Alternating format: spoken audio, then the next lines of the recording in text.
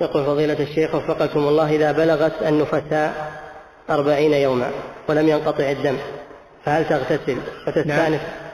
إذا بلغت النفساء أربعين يوما نعم. ولم ينقطع الدم فهل تغتسل وتستأنف الصلاة أم نعم.